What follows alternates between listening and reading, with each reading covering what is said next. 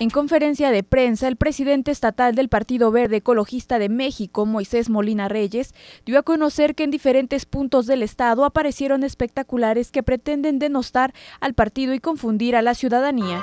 Esta guerra sucia y esta campaña negra que se ha intensificado desde la capital del país y que hoy vemos intensificada en Oaxaca desde diferentes flancos. Hoy estos espectaculares aparecieron en nuestro estado, en diferentes puntos del estado, sobre todo en la supercarretera.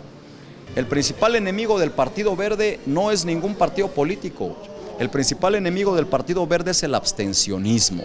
Nosotros no le tenemos miedo a la competencia, le tenemos miedo a la incompetencia política que varios actores están demostrando a través de este tipo de acciones. La gente lo que quiere es propuesta, la gente lo que quiere es trabajo y es lo que el Partido Verde Ecologista está haciendo con todos sus candidatos. Molina Reyes calificó como actos cobardes los hechos, por lo que aseguró que pedirán al Instituto Nacional Electoral que investigue y sancione a los responsables. En la publicidad aparece clara la leyenda. La leyenda dice, vota por candidatos a diputados del PAN. Es lo que se puede leer aquí.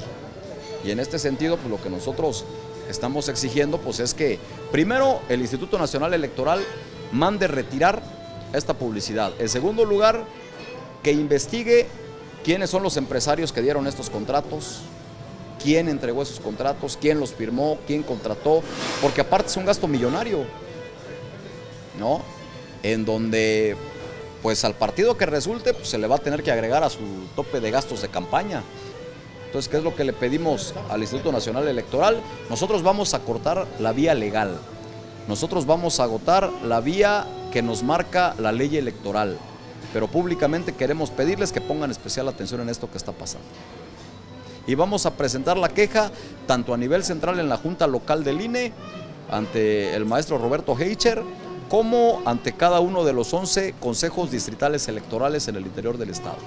Por su parte, el candidato a diputado federal por el Distrito 8, Miguel Ángel Morales Amaya, pidió a la ciudadanía que no se deje engañar, pues afirmó que el Partido Verde no ha hecho coalición con ningún partido. Concretar que el Partido Verde Ecologista va solo, no va en coalición con nadie. Segundo, lo que nos ha pedido la gente a través de todas las visitas que hemos hecho a las eh, colonias más necesitadas, eh, a los centros turísticos y todo donde Miguel Ángel Morales Amaya ha caminado y hemos llevado al verde ecologista, nos ha pedido seriedad en el, hacer política en Oaxaca. La filosofía política que tiene Miguel Ángel Morales Amaya, que tiene el Partido Verde Ecologista, es de trascendencia. No nos da miedo la competencia.